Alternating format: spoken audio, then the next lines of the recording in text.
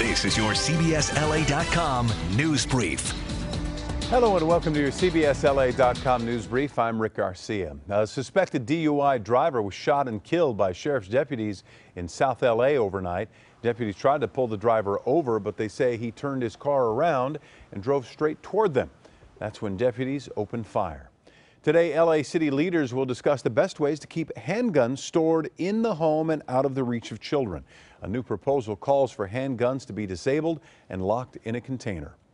LA Mayor Eric Garcetti was mobbed by an unruly crowd in South LA. Last night's town hall meeting was cut short after a group from Black Lives Matter began chanting and rushed the stage. No one was hurt.